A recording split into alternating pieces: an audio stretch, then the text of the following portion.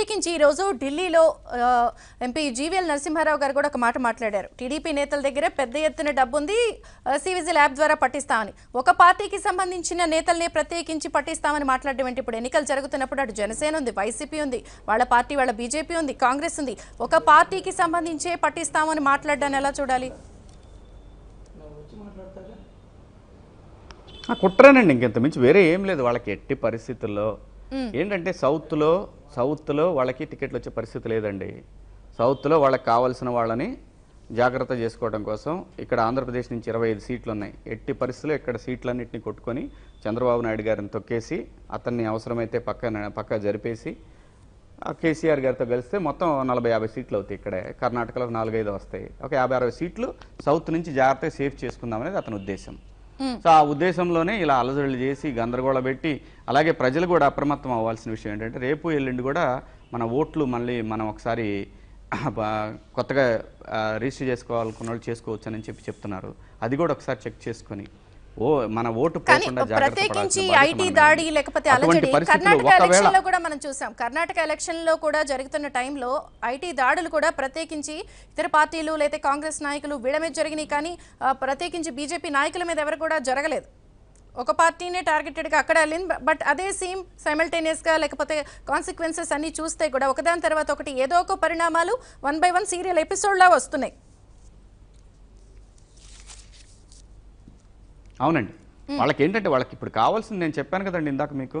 చంద్రబాబు నాయుడు గారిని ఏదో విధంగా అడ్డు తొలగించుకోవాలి.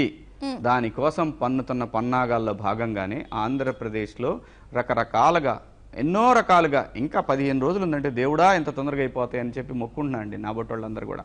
కాదు శివాజీ గారు ఒక విషయం? చెప్పండి. మీరు కొన్ని నెలల క్రితము ప్రత్యేకించి ఆపరేషన్ కరుడా అని చెప్పారు లేకపోతే ఇలా జరుగుతాయి పరిణామాలు అని చెప్పారు. చాలా మంది కొట్టిపారేశారు లైట్ తీసుకున్నారు.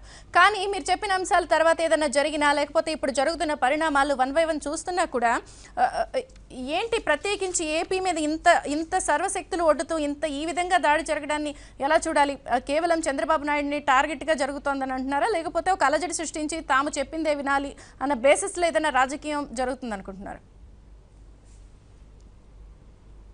లేదు లేదండి. కేవలం చంద్రబాబు నాయుడు గారిని టార్గెట్ చేసుకునే జరుగుతుంది. అంతకుమించి వేరే ఏం లేదు. దీంట్లో రాకెట్ సైన్స్ ఏం లేదండి. చంద్రబాబు నాయుడు గారు అడ్డంగా ఉన్నారు. ఆయన్ని తొలగించేసుకోవాలి. ఏదో విధంగా ఇప్పుడు తొలగించుకున్నారు అనుకోండి రేపు పొద్దున ఒకవేళ జగన్మోహన్ రెడ్డి గారు ఆ వాళ్ళు అనుకుంటున్నట్టు జగన్మోహన్ రెడ్డి గారు గెలిస్తే ఆయన కూడా మూడు నాళ్ళ ముచ్చటండి అంతకుమించి ఏం జరగదు. కే తమిళనాడులో శశికళకి ఏం జరిగిందో అదే యాసిటీజ్ ఇక్కడ కూడా జరుగుతుంది.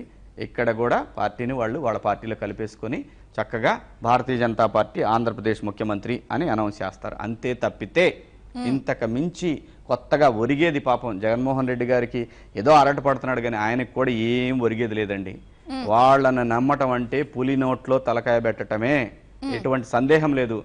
పాపం అమాయకంగా విజయసాయి రెడ్డి గారు రోజు వెళ్ళి ఆడ దొంగండి ఆడ దొంగండి ఆడ దొంగండి ప్లీజ్ మాట్లాడండి మీరు ఏదో ఒకటి చెయ్యండి. ఇలా పోయి ఆయన బతికినాడుకుంటున్నా చివరికి జరిగేది ఏంటంటే అందరినీ అందరికీ పంగనామాలు పెట్టి లోపలేసి శ్రీకృష్ణ జన్మస్థానం చూపిస్తారు. ఇంతకు మించి ప్రజలు గుర్తుపెట్టుకోండి నేను చెప్తున్నా. ఇంతకు మించి ఈ రాష్ట్రంలో ఒకవేళ వాళ్ళు వచ్చినా కానీ మూడు నాలుగు నెలల తర్వాత జరిగేది ఇదే.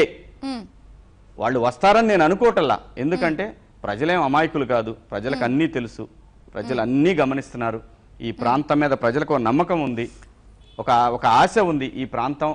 కరెక్ట్గా కర- సరైన నాయకుడిని ఎన్నుకోవాలనే ఆలోచన వాళ్ళలో ఉంది. ఈ దరిద్రాలు పోవాలి. సెంటర్లో ఆ దరిద్రం పోవాలి. అనేటటువంటి పరిస్థితుల్లో జనమందరూ ఆలోచిస్తా ఉన్నారు. కానీ కానీ కాబట్టి శివాజీ గారు గత ఎన్నికలు పోలిస్తే ఈ ఈసారి జరగబోయే ఎన్నికల్లో ఒకప్పుడు ఎన్నికలంటే మేము ఇది చేస్తాం మాకు ఓటేయండి. లేకపోతే మేము ఇది చేసాం మాకు ఓటేయండి. లేదు అంటే ఆరోపణలు ప్రత్యారోపణలు. కానీ ప్రత్యేకించి ఈసారి ఆంధ్రప్రదేశ్లో జరుగుతున్న ఎన్నికలు చూస్తే ఓట్ల గల్లంతు. వేయటం ఒక ఎత్తు అయితే తీసేసి గెలవడం అనేది ఒక సాంప్రదాయం బిగినైంది రెండోది ఫామ్ సెవెన్లు దరఖాస్తులు ఇవన్నీ. ఇంకొక పక్కన బెదిరించి పార్టీలు మార్పించడం. లేకపోతే అభ్యర్థుల్ని పోటీ నుంచి తప్పించడం. సామధాన భేద దండోపాయాలన్నీ కూడా అన్ని రకరకాల ప్రయోగాలు కూడా ఏపీ ఎలక్షన్లో ప్రత్యేకించి ఈసారి జరగబోయే ఎలక్షన్లో జరుగుతున్నాయి.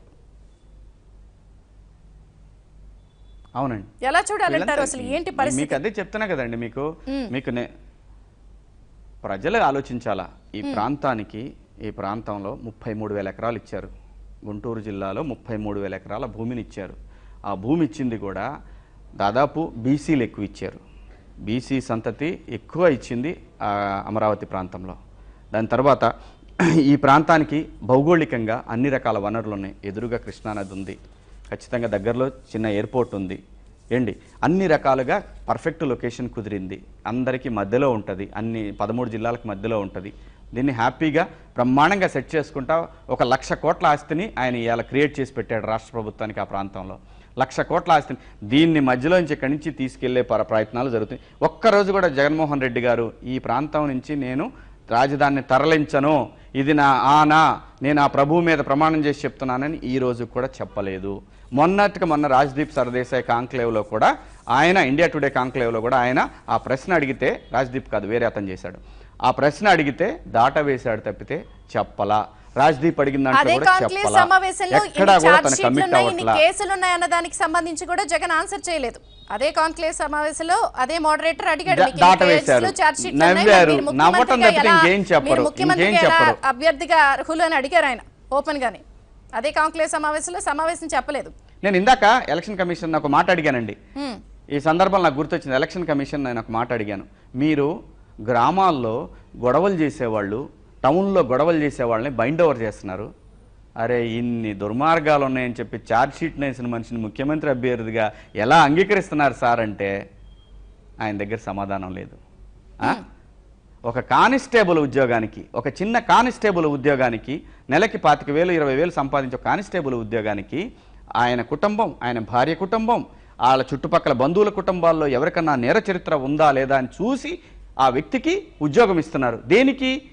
ఇతను రక్షించ రక్షణ మనందరికీ రక్షణ కల్పిస్తాడనే వ్యక్తిని చూడటానికి అలాంటిది ఐదు కోట్ల మంది ప్రజలని వాళ్ళ జీవితాలని శాసించేటటువంటి వ్యక్తిని ఎటువంటి వాడు ఉండాలనేది కాన్స్టిట్యూషన్లో లేకపోవటం మన దౌర్భాగ్యం అండి దానికి సమాధానం చెప్పలేకపోవటం ఎన్నికల కమిషన్ దౌర్భాగ్యానికి పరాకాష్ట అండి. ఇంతమంది నలభై ఎనిమిది మంది ఒక పార్టీలో రౌడీ నే- నేర చరిత్రలో నలభై ఎనిమిది మంది ఒక పార్టీలో ఇంకొక పార్టీలో పన్నెండు మంది. ఇంకో పార్టీలో ఏడుగురు. వీళ్ళందరికీ ఎందుకు ఇస్తున్నారు సార్? ఎందుకు యాక్సెప్ట్ చేస్తున్నారు? వాళ్ళు ఈ రోజున ఇచ్చినటువంటి అఫిడవిట్లో నా మీద ఇన్ని కేసులు ఉన్నాయి నాకెంత ఉంది నాకెంత తప్పు ఉంది నేను నేను ఇన్ని తప్పులు చేశాను ఇవన్నీ పెట్టున్నాయి. ఇవన్నీ పేపర్లో కూడా ఏమన్నారు. కానీ వీళ్ళు మనకు ముఖ్యమంత్రులు మంత్రులు ఎమ్మెల్యేలు ఓ తోపులు వీళ్ళంతా. మనం పిచ్చోళ్ళలాగా పోయి వాళ్ళకి ఓట్లు వేయాలా? హ్మ్. ఎట్లండి? ఎప్పుడు దీనికి దీనికి దీనికి చరమగీతం పాడేది ఎప్పుడు.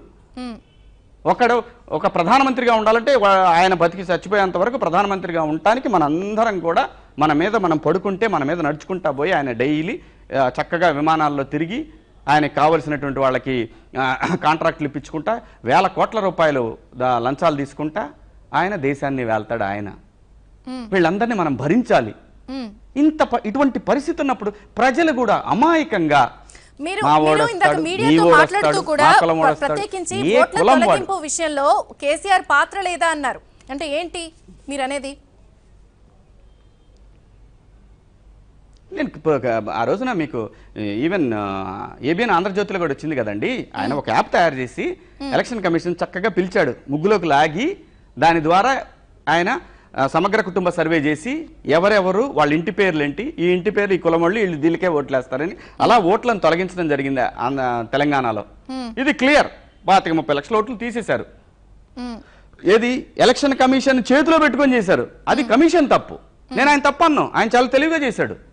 ఆయన గెలవాలి. రాజకీయం అధికారంలోకి రావాలి కాబట్టి ఆయన తెలివిగా చేశాడు. ఆ- ఉచ్చులో ఎలక్షన్ కమిషన్ పడిందా? లేదంటే ఎలక్షన్ కమిషన్లో ఉన్న వ్యక్తులకి ఏమన్నా వేరే ఆలోచనలు ఉన్నాయా? తెలియదు ఆ తర్వాత సింపుల్గా సారీ అండి పొరపాటు అయిపోయింది చాలా తొలగించాము మేము అని రజత్ కుమార్ అమాయకంగా అది. ఇప్పుడు కూడా ప్రజలకు చెప్పేది ఏంటంటే అన్ని రాజకీయ పార్టీలు ఈ విషయం ఎలక్షన్ పదకొండు- ఒక్క నిమిషం madam. Madam one second one second one second ఇది గుర్తుంచుకోండి. ఒక్క నిమిషం. అన్ని రాజకీయ పార్టీలు నేను చెప్పేది ఒకటే. మీ బూత్ కన్వీనర్లు అందరూ ఎవరైతే ఆ బూత్ ఆఫీసర్ ఉంటాడో ఆ ఆఫీసరు దాన్ని ముద్ర వేసే వరకు దయచేసి అక్కడే ఉండండి. ఖచ్చితంగా ఇలాంటి పొరపాట్లు జరిగి రిగ్గింగులు జరిగిన సందర్భాలు ఉన్నాయి. ట్యాంపరింగ్ అనేది చాలా ఎక్కడో అనుమానం తప్పితే ఇక్కడ రిగ్గింగులు జరగడానికి అవకాశం ఉంటుంది. ఎలక్షన్ కమిషన్లో కొంతమంది ఆశపడినటువంటి కొంతమంది వ్యక్తులు ఉండొచ్చు. ఇది అనుమానం. ఆ ఆఫీసరు ముద్ర వేసి సీల్ వేసే వరకు అక్కడే ఉండండి. వెళ్ళమని చెప్పండి. మాకు అనుమానం ఉందని చెప్పండి. అన్ని రాజకీయ పార్టీలకు చెప్తున్నా. తప్పు. ప్రజాస్వామ్యాన్ని అపహాస్యం చేయటం. ఇంత స్వేచ్ఛగా తిరగలుగుతున్నాం అంటే మనకంటూ ఒక ప్రజాస్వామ్యం ఉంది కాబట్టి. ఇదే మోడీ గారు రేపు పొద్దున ఇదే మోడీ గారు రాజ్యాంగాన్ని మార్చి శాశ్వత ప్రధానమంత్రి అవటానికి ఆయన ఆలోచించిన. ఎందుకంటే చైనాలో మా ప్రెసిడెంట్ అలాగే చేశాడు. పుతిన్ నాలుగు సార్లు రాజ్యాంగాన్ని మార్చి మూడు సార్లు ప్రధానమంత్రి నాలుగు సార్లు రాష్ట్రపతి ఇట్లా రకరకాలుగా ఆయన ఇష్టం వచ్చినట్టు అయ్యాడు. అదే ఆలోచన ఈ రోజున మోడీ గారికి కూడా ఉంది. ఏం సందేహం లేదు మీరు చూడబోతారు ఒకవేళ. మరి ఆయన శివాజీ మన గారు, కర్మ బాలేక దేశం కేవలం కర్మ బాలేక ఉంది కేవలం పంతొమ్మిది రోజులే. పోలింగ్ జరగడానికి ఒక పక్కన ఏదో ఒక సీరియల్ ఎపిసోడ్ నడుస్తూనే ఉంది. ఐటీ దాడుల వరకు ఆగి వచ్చి ఆగింది పరిస్థితి. నెక్స్ట్ ఏంటి? నెక్స్ట్ ఏంటి? నెక్స్ట్ ఎలా ఉంటాయి పరిణామాలు? నెక్స్ట్ ఏం ఉండొచ్చు? ఏం ఏం ఉండకపోవచ్చనే ఎక్స్పెక్ట్ చేస్తున్నాను. ఎందుకంటే ఎలక్షన్ కమిషనర్తో మాట్లాడినప్పుడు ఆయన చాలా ఫేర్గా అనిపించారు నాకు. ద్వివేది గారు చాలా ఫేర్గా అనిపించారు. కొన్ని కొన్ని ఇష్యూస్లో ఆయన సెంట్రల్ ఎలక్షన్ కమిషన్ నుంచి డైరెక్ట్గా కలెక్టర్స్ కూడా ఆర్డర్స్ వెళ్తా ఉంటే కలెక్టర్స్ తీసుకుని నిన్న ఆ ఇన్సిడెంట్ కలెక్టర్ ఆఫీస్ నుంచి జరిగిందని అన్నట్టు చెప్పారు ఆయన నాకు. ఐటీ దాడులు అనేవి. సో కాబట్టి అంతకుముందు నేను కొంతమంది విషయంలో నేను ముఖ్యమంత్రి గారికి కూడా నేను సమాచారం చెప్పడం జరిగింది. ప్రెస్ మీట్ పెట్టి. అయ్యా ఇలా కలెక్టర్లు కూడా కొంతమంది వ్యతిరేకంగా పనిచేస్తున్నారని అవి కూడా జాగ్రత్త పడాలా? అన్ని రాజకీయ పార్టీలు నేను ఒక రాజకీయ పార్టీ అని చెప్పట్లా అందరూ కూడా కొంత వాళ్ళకి ఇంట్ర ఇంట్రెస్ట్ లేదనుకోండి ఈ ప్రభుత్వం మీద కొంతమంది వ్యతిరేకంగా చేయొచ్చు. దాన్ని కూడా ఖండించండి. అది తప్పు. ప్రజాస్వామ్యం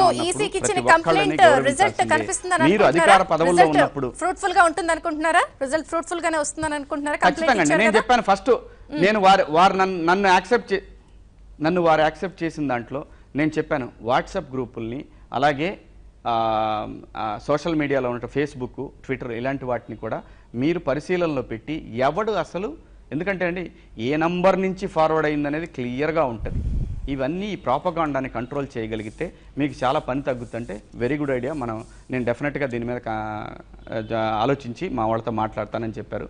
ఈ పోలీసుల విషయంలో కూడా ఎవరైతే డబ్బులు పోలీస్ స్టేషన్కి తీసుకోవడానికి వీల్లేదు. ఆ ప్రాంతంలో ఎక్కడైతే పట్టుబడ్డాయో ఆ ప్రాంతంలో ఐటీ అధికారులను పిలిచి అనుమానం ఉంటే వాళ్ళకి అప్పచెప్పాల్సింది తప్పితే వీళ్ళు డెసిషన్ తీసుకోవడానికి లేదు. ఇది కూడా క్లియర్గా చెప్తానమ్మా చేస్తాను. మంచి మా- మంచి విషయాలు తీసుకొచ్చారు. చాలా థ్యాంక్స్ అని చెప్పి పంపించారు నాకు. ఇక్కడ ప్రజలు ఆలోచించాల్సింది ఏంటంటే ఒక బాధ్యత గల పౌరులుగా ఈ ప్రాంతంలో ఏ కమ్మోడికి కష్టం వచ్చినా పక్క కమ్మోడు హెల్ప్ చేస్తాడని ఎప్పుడు అనుకోకండి. ఏ రెడ్డికి వచ్చినా పక్క రెడ్డి వాడు చేస్తాడని అనుకోకండి. మన. ఫీజులకి ఏ కాపులకి ఏ కుర్రాడికి వచ్చిన ప్రాబ్లం వచ్చినా పక్కవాడు చేస్తాడని అనుకోవద్దు దయచేసి ఎవరు కూడా. ఈ ప్రాంతం ముఖ్యం రాబోయే తరాలు ముఖ్యం. ఇవాళ జరుగుతున్నటువంటి వెల్ఫేర్ కానివ్వండి ఏదైనా సరే సంక్షేమ పథకాలు ప్రజలకు అందుబాటులోకి వచ్చినాయా వచ్చినాయా రాలేదా? వస్తే అనుభవిస్తే వాళ్ళకు వాళ్ళ కృతజ్ఞత ఎలా చూపిస్తారో వాళ్ళ. నిర్ణయానికి వదిలేదు రెండోది. పరిశ్రమలు. చాలా ఇంపార్టెంట్ ఈ ప్రాంతానికి. పరిశ్రమలు. ఇలా thank you Polavaram thank you Amaravati ఇవన్నీ థ్యాంక్ యూ కావాలండి. వీటన్నిటి కోసం మనందరం పోరాడదాం. Thank you Thank you. Thanks for joining with ABN